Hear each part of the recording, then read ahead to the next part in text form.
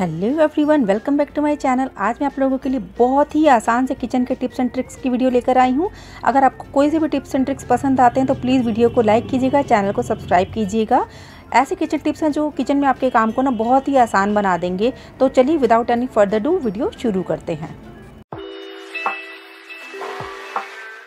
तो आज की मेरी सबसे पहली टिप है बर्तनों को लेकर। जब भी हम खाना वाना खाते हैं सिंक में काफ़ी बर्तन जमा हो जाते हैं। हम हर तरह के बर्तनों को सिंक में डाल देते हैं, चाहे वो कांच के हों, क्रॉकरी के हों, स्टील के हों या कोई से भी हों। ठीक है गाइज़ तो इससे क्या होता है, जब हम बर्तनों को वॉश करते हैं ना थोड़ी बहुत उठापटक हो जाती है, जिससे जो हमारे कांच के बर्तन होते हैं ना, वो काफ़ी डैमेज हो जाते हैं। उनकी डंडियाँ टूट जाती हैं या कप टूट जाते हैं ग्लासेस वगैरह टूट जाते हैं। तो उसके लिए आप क्या कर सकते हैं, आप इस तरह के एक बास्केट ले सकते हैं। और बास्केट को अपने सिंक के साइड में ही रखिए। और जब भी आपको कोई भी बर्तन गंदे हो ना जैसे चाय पी आपने या आपने कोई भी कांच के बर्तन यूज़ करे तो आप उनको सिंक में ना डाल के इस तरह से उनको टोकरी में रख दीजिए अलग से। तो ये डैमेज होने से बचे रहेंगे और आपको जब बर्तन वॉश करेंगे ना तो आपके कांच के बर्तन टूटने से बचे रहेंगे और आपको मतलब काफ़ी जो हैसल हो जाता है ना किचन में बहुत ज़्यादा कि भाई कांच के बर्तन टूट रहे हैं वॉश करने में दिक्कत आ रही है सिंक में सब बर्तन एक साथ इकट्ठे हो जाते हैं तो इससे ना आपकी ये प्रॉब्लम भी सॉल्व हो जाएगी। तो जो भी गंदे बर्तन आपके हो जाए, उन्हें आप इस तरीके से कांच के बर्तनों को स्पेशली टोकरी में अलग रख दीजिए थोड़ा सा पानी डाल के, ताकि वो बर्तन सूखे ना। और जब आपके कांच के बर्तन धुल जाए तो इस इस टोकरी को भी आप वॉश करके रख दीजिए और ताकि दोबारा यूज़ में ले सकें। बढ़ते हैं नेक्स्ट टिप की तरफ़। नेक्स्ट टिप है मेरी ब्रेड क्रम्स को लेकर। अक्सर हम घरों में ना ब्रेड क्रम्स यूज़ करते हैं। बहुत चीज़ों में हमें चाहिए होता है, लेकिन कई बार क्या होता है ब्रेड क्रम्स अवेलेबल नहीं होते, या तो अगर मार्केट से रेडीमेड खरीदते हैं तो वो बहुत ही महँगे दामों पर मिलते हैं। तो हम लोग क्या करते हैं, इस तरीके की सेवियाँ होती हैं या वमी सैली होती है, घरों में अक्सर ला के रखते हैं, क्योंकि खाने में बहुत टेस्टी बनती है, जल्दी भी बन जाती है, मीठा भी बना सकते हैं, इससे हम नमकीन भी बना सकते हैं। तो अगर घर पे ब्रेड क्रम्स नहीं है तो बहुत ही ईजी तरीके से आप इन वर्मी सैली को as a bread crumbs use कर सकते हैं। बहुत ही आसानी से ना आप इसको मिक्सी में पीस लीजिए और पीस के इसका पाउडर बना लीजिए और जब भी आपको ब्रेड क्रम्स की ज़रूरत हो ना ये ब्रेड क्रम से भी अच्छा क्रंच देते हैं और बहुत ही आसानी से मतलब यूज़ में आ जाते हैं और बहुत लंबे टाइम तक चलते हैं। आप इनको एयर टाइट कंटेनर में करके फ्रिज में रख दीजिए तो ये बहुत ही आसानी से यूज़ हो जाते हैं। और ब्रेड क्रम्स क्या होता है, कई बार हम जैसे ताज़े बना के रख देते हैं ना, ताज़े ब्रेड के तो उनमें भी फंगस लग जाती है, वो ख़राब हो जाते हैं। तो इस तरीके से आप को यूज़ कर सकते हैं। तो ये देखिए, यहाँ पे मैंने वामी सैली का बना के रख दिया ब्रेड क्रम्स और ये जो सिवैयाँ घरों में होती है ना, उन सेवैयों को आप हाथों से ही मैक्सिमम जितना बारीक कर सकते हैं, उतना बारीक कर लीजिए। इसको मिक्सी में नहीं पीसना है, ठीक है गाइज़ तो इसको आप हाथों से बारीक क्रश कर लीजिए और टिक्की बनाइए, चाहे कुछ भी आपको अगर चाहिए ना ब्रेड क्रम्स की जहाँ ज़रूरत हो, वहाँ पर आप इनको यूज़ कर सकते हैं। बहुत ही अच्छा काम करते हैं और बहुत ही क्रंची आपकी जो भी आप फ्राई करने वाली चीज़ें बना रहे हैं ना, जिनके लिए आपको ब्रेड क्रम्स चाहिए, ये बहुत ही अच्छा क्रंच उसमें ला देते हैं और ब्रेड क्रम्स से ना टेन टाइम्स बेटर होते हैं ये। तो नेक्स्ट टाइम जब भी आपको ब्रेड क्रम्स की ज़रूरत हो, आपके घर में वामी सेली रखी हो तो आप इस तरीके से ब्रेड की जगह पे इनको यूज़ कर सकते हैं। बहुत ही आसान सा टिप है। तो ये टिप आपको कैसा लगा मुझे ज़रूर बताइएगा। बढ़ते हैं नेक्स्ट टिप की तरफ़। नेक्स्ट टिप है मेरी लंच बॉक्सेस को लेकर। सुबह सुबह जो है हस्बैंड का लंच पैक करके देना है, बच्चों को जाना है, बच्चों का लंच पैक करके देना है। तो उससे क्या होता है, कई बार ना बहुत ज़्यादा मतलब दिमाग ख़राब हो जाता है, क्योंकि लंच बॉक्स कई बार रखे रहते हैं धोके सही जगह पर लेकिन कई बार ढक्कन गिर जाता है, ढक्कन नहीं मिलते। या कई बार मतलब इकट्ठा सामान रखा होता है ना सारा तो कई बार फिर भी हमें दिक्कत होती है, ढक्कन नहीं मिल रहा, डब्बा नहीं मिल रहा। तो उसके लिए आप क्या कर सकते हैं, आपको लेनी है इस तरीके की एक टोकरी ही इस तरह के एक बास्केट लेके और आप उसमें सारे लंच बॉक्सेस को एक साथ रख दीजिए।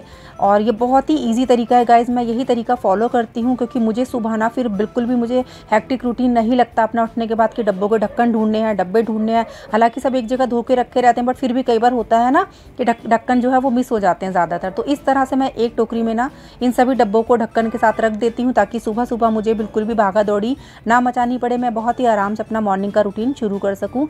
बच्चों का और हस्बैंड का लंच आराम से पैक करके दे सकूँ। तो जब भी आप किचन में चाहते हैं ना, आराम से काम करना और सुबह सुबह की भागा दौड़ी से बचना चाहते हैं तो इस टिप को फॉलो करके ना, आप अपने हस्बैंड को और बच्चों को टाइम से लंच दे सकते हैं। आपको बिल्कुल भागा दौड़ी नहीं करनी पड़ेगी। बढ़ते हैं नेक्स्ट टिप की तरफ़। नेक्स्ट टिप है मेरी पापड़ को लेकर। अक्सर हम घरों में पापड़ लेके आते हैं और जिन्हें हम खोल के यूज़ कर लेते हैं। तो कई बार क्या होता है यूज़ तो करते हैं, पापड़ भी खाते हैं, लेकिन कई बार पाप क्या होता है, पैकेटों में ना कई बार पापड़ जो है वो टूट जाते हैं। आप सभी के साथ होता होगा, मेरे साथ भी होता है, पैकेट में कई बार ना पापड़ का कुछ चूरा निकलता है। देखिए, इस तरीके से जो पापड़ टूट जाते हैं, चूरे हो जाते हैं तो इन चूरे हुए पापड़ों का हम किस तरीके से यूज़ कर सकते हैं, बहुत ही आसान सी टिप है और आप लोगों की बहुत ही काम आने वाली है। चलिए, मैं बताती हूँ आपको कि इन्हें किस तरीके से यूज़ करना है। आपको लेना है एक मिक्सर जार और मिक्सर जार में जो भी पापड़ के टुकड़े बचे हुए हैं, पापड़ का चूरा बचा हुआ है ना, आप उसको डालिए और उसका एक बारीक सा पाउडर बना के तैयार कर लीजिए। यहाँ देखिए, हमारे पापड़ का जो पाउडर है, वो बन के तैयार है। अब इस पापड़ की चूरी को आप यूज़ कैसे करेंगे? आपको सुबह सुबह नाश्ता बनाने में कई बार टाइम नहीं होता, जैसे कुछ जल्दी में बनाना है और जिससे आपका पेट भी भर जाए। तो इस पापड़ के चूरे से ना आप स्टफ्ड पराठा बना के तैयार कर सकते हैं। जैसे नॉर्मल आप स्टफ्ड पराठा बनाते हैं, आप उसमें इस पापड़ की फिलिंग को भर दीजिए और जैसे नॉर्मली पराठा बनाते हैं, उस तरीके से सेक लीजिए। बहुत ही बढ़िया सा आपका मसाला पापड़ जैसा पराठा बन तैयार होगा। या फिर अगर आपके घर में उबले हुए आलू रखे हैं और आपको ज़ीरा राइस ज़ीरा आलू खाने का मन है ना जैसे ज़ीरा आलू बनता है तो आप बस आलू में ज़ीरे का छौंका लगाइए, आलू डालिए और पापड़ के ये जो मसाला हमने तैयार किया है ना, पिसे हुए पापड़, एक से दो चम्मच ये आप इसमें डाल दीजिए और थोड़ा सा स्वाद के अकॉर्डिंग नमक डाल दीजिए। आपका मज़ेदार से पापड़ के स्वाद वाली ज़ीरा आलू बन के तैयार हो जाएँगे। बहुत ही क्विक डिश बनती है, बहुत ही अच्छी बनती है। आप इस पापड़ के जो पिसा हुआ पाउडर है ना, पापड़ का आप इसको एक एयर टाइट बॉक्स में करके फ्रिज में रख दीजिए। तो ये काफ़ी टाइम तक चलता है, ख़राब नहीं होता, सीलता भी नहीं है फ्रिज में और इसकी शेल्फ लाइफ भी काफ़ी बढ़ जाती है।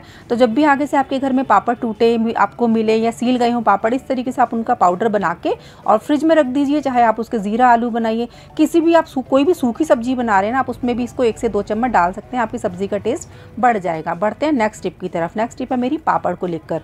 अक्सर हम पापड़ ला के रखते हैं और उनको खोल देते हैं और फिर खोल के उनको मतलब यूज़ करते हैं, चाहे रोस्ट करके, चाहे फ्राई करके, कई तरीक़ों से पापड़ को हम खाते हैं। तो वो जब पैकेट खुल जाता है ना तो वो सील जाते हैं। तो पापड़ को सीलन से बचाने के लिए हमें क्या करना है? बहुत ही सिंपल सा तरीका है। आप पापड़ को जैसे मैंने प्रीवियस वीडियो में मैंने बताया था कि खुले हुए पैकेट्स को हम किस तरीके से सील कर सकते हैं, ठीक है? जितने पापड़ आपको चाहिए, या तो आप उतने निकालिए और उनको इस तरीके से जैसे मैंने बताया था प्रीवियस वीडियो में, उस तरीके से आप पापड़ के पैकेट को सील पैक कर दीजिए ताकि ये सीले ना। ठीक है, दूसरा तरीका बहुत ही सिंपल सा है। या तो आप जिप लॉक पाउच में इसको पापड़ को करके फ्रिज में रख दीजिए, या तो इस तरह के जो एयर टाइट पाउच आते हैं ना मार्केट में बहुत ही इजीली अवेलेबल होते हैं और काफ़ी चीप रेट्स पर मिलते हैं। इसमें कई तरीके के साइज़ भी मिलते हैं। आप इस तरह के पैकेट में पापड़ को डालिए और इसको फ्रिज में स्टोर कर दीजिए। महीनों तक आपका पापड़ सेफ़ रहेगा और सीलेगा भी नहीं। बढ़ते हैं नेक्स्ट टिप की तरफ़। नेक्स्ट टिप है मेरी चम्मचों को लेकर। जी हाँ बहुत कॉमन सी टिप है जिस घर में छोटे बच्चे होंगे ना, वो लोग इस प्रॉब्लम को फेस कर रहे होंगे और समझ पा रहे होंगे कि हाँ जी, बिल्कुल वाकई जेनुअन प्रॉब्लम है। तो अक्सर हम बच्चों को लंच में ना चम्मच देते हैं खाने के साथ। तो बच्चे क्या करते हैं? कई बार लंच में ना चम्मच या तो खो जाता है या तो गिर जाता है, ठीक है? तो ये प्रॉब्लम बहुत ही कॉमन सी है। उसको हम इसी तरीके से सॉल्व कर सकते हैं। देखिए, इस तरह के डिस्पोजेबल चम्मच ना मार्केट में बहुत ही ईजिली अवेलेबल होते हैं। तो जब भी आपको बच्चों को लंच देना हो ना, आप इस तरह के डिस्पोजेबल चम्मच बच्चों को दे सकते हैं।